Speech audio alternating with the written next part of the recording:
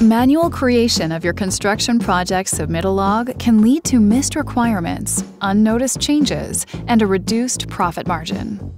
AutoSpecs within Autodesk Construction Cloud extracts and organizes project requirements found in your specifications into a fully searchable and updatable database in minutes, reducing errors and protecting your project schedule and budget. Uploaded specification PDFs are automatically scanned for requirements, broken into sections, and organized into a customizable space called the Smart Register. The information in the Smart Register can be filtered by division, section, or submittal type, helping you create your submittal logs, procurement logs, scope of work, and more. As new specification versions and addendums are released, teams can easily update their requirements with the versioning tool. AutoSpecs automatically highlights additions, deletions, and all changes between versions, helping teams to stay up to date with their requirements without having to recreate their logs.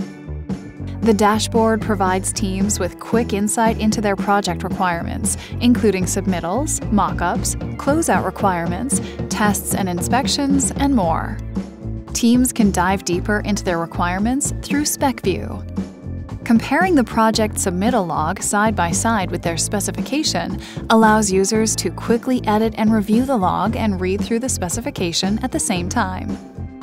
Powered by Construction IQ, teams can use suggested submittals to identify potentially missing submittals in just a few minutes.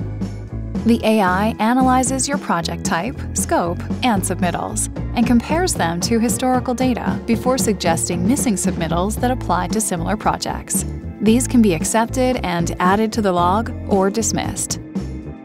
Once the submittal log is complete, publishing submittals to Autodesk Build is quick and customizable, reducing errors and connecting your requirement data to the rest of your project workflows. See how you can reduce project risk and unlock your requirement data at the link below.